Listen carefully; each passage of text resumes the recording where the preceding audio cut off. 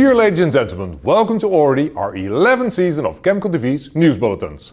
We're all very happy that we can meet live in San Francisco and share news and information from ChemCon the Americas 2023 with you.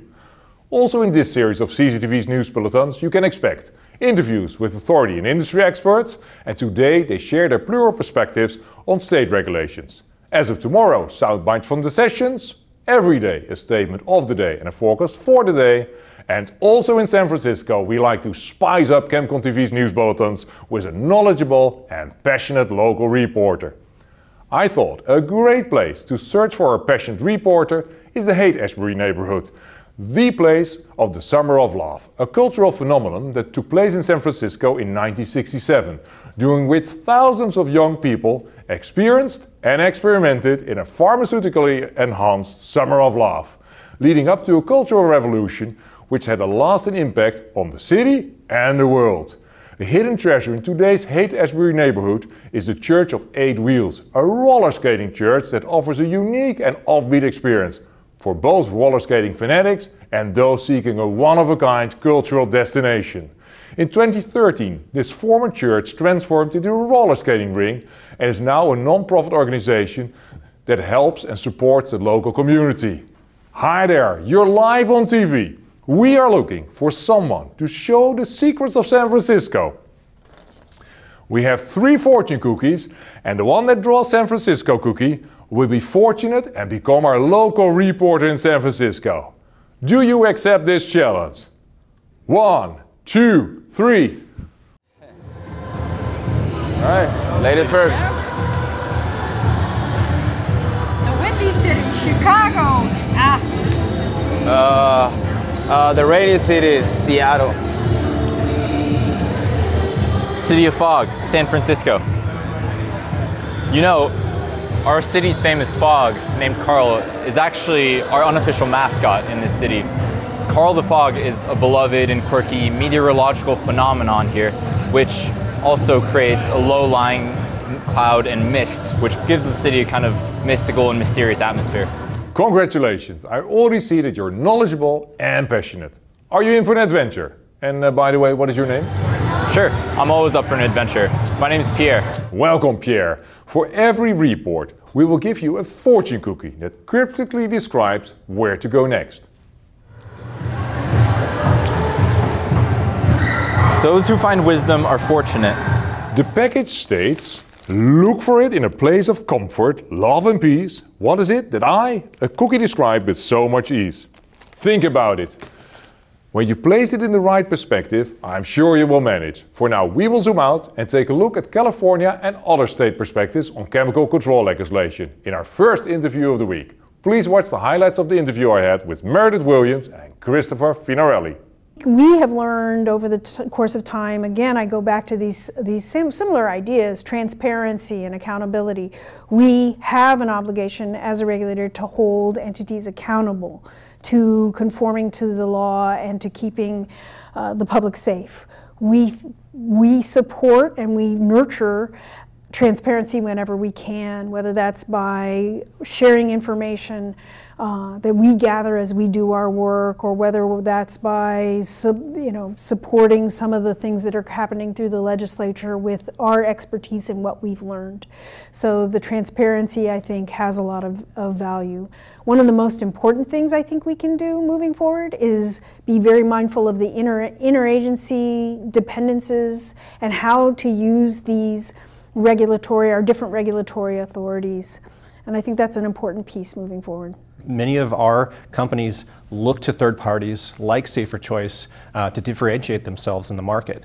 And so that's an important tool for moving um, the industry towards sustainable um, products. You know, you look at um, uh, recently, they've done some work uh, through this program with antimicrobials and identifying products that meet certain specific standards as it relates to the environment, human health, um, product integrity, and, um, it, and it, this, this allows consumers to make um, smart choices about um, when they're uh, looking at products on the market. The complete interview can be viewed at our website and YouTube channel, or just press the CCTV button in our Chem Connect app. And for those fortunate to be in San Francisco, on the mega screen in our conference room. Which brings me to our local reporter. Pierre, I see that you found the place that was home for a fortune cookie. Hi, Tjeerd. Yes, I'm in the fortunate position to visit the Golden Gate Fortune Cookie Factory, a musty location in San Francisco's Chinatown with awesome tasty treats. Would you like to try?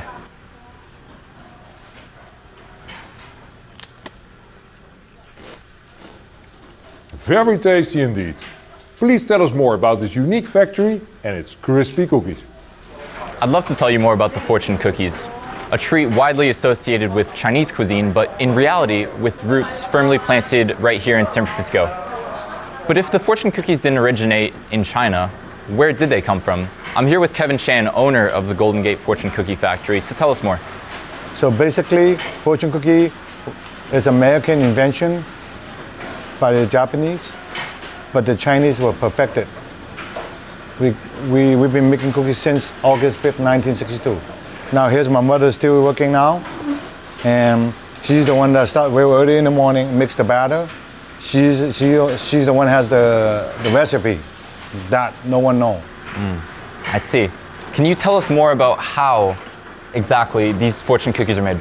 You, you see the flour come, come out from the copper tube, from the copper tube, and goes around and takes a four and a half minute. And come out, the cookie is very hot and soft, so we can apply and bend it.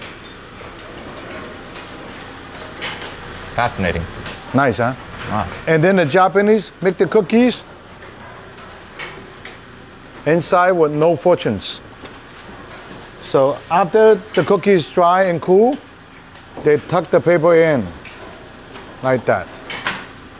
The fortunes inside, the Japanese fortune outside. Could be far off, no fortunes, or could be another fortunes to substitute. I'm curious, are they quite hot when you peel them off the oven? Well, you're about to find out. How many can you do a minute? One, if I'm lucky. Well, you should do more than that. I can see you can do it. I'd love to try. Okay. Watch first. Okay.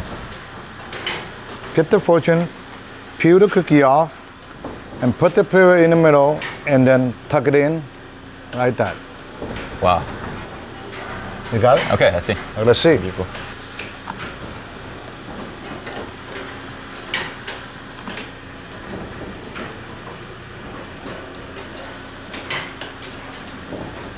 And Wow, that's they're nice. quite hot indeed. I, I'm sure your team is more used to making these cookies, baking over 4 million in one year. One word of warning though, besides that they're very hot, cracking open a fortune cookie will never be the same. Once you visit the fortune cookie factory, you'll always remember the spirit of good luck and fortune that is embodied in these delicious treats, a true San Francisco invention. Kevin and Pierre, thanks for this tasty tale. Pierre, looking forward to seeing you at tonight's welcome reception. And Kevin, could you please give him the special cookie with the description of the location of tonight's event? Are you ready for the big one? Absolutely. The big event? Yes. The big fortune? yes. Okay. There you go. Wow. That's a big one. Quite the cookie. Yeah. Okay, let's see what's inside.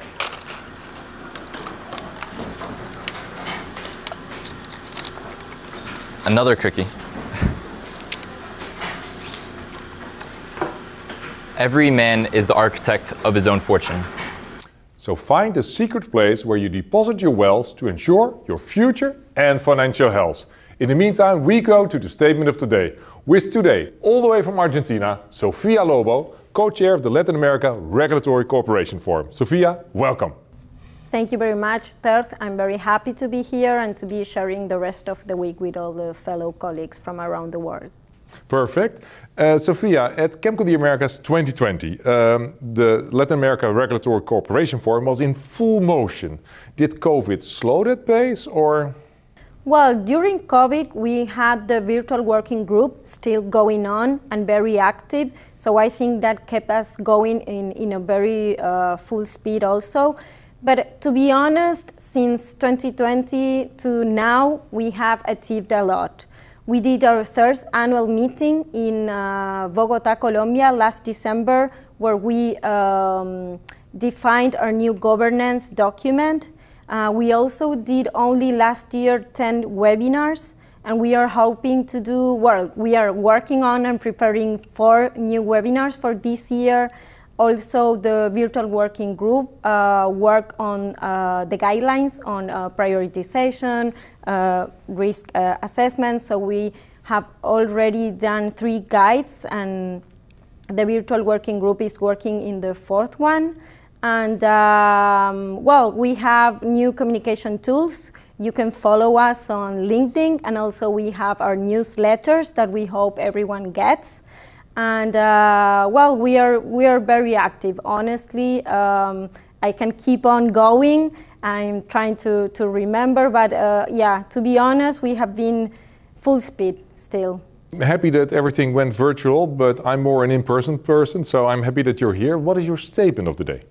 Well, uh, industry and government should keep a fluent dialogue towards regulatory cooperation.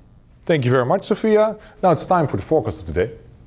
This morning we will start with a workshop on global supply chain through the regulatory lens, where we focus on the EU Sustainable Product Initiative and global nanomaterials and RoHS regulations, followed by a seminar on California and other state perspectives on chemical control legislation.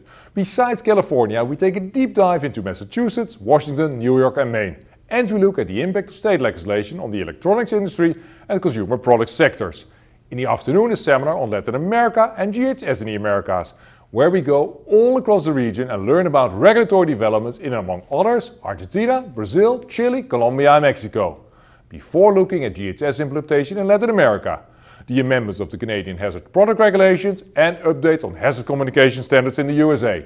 Thank you for watching and for those here in San Francisco, looking forward to seeing you at tonight's welcome reception.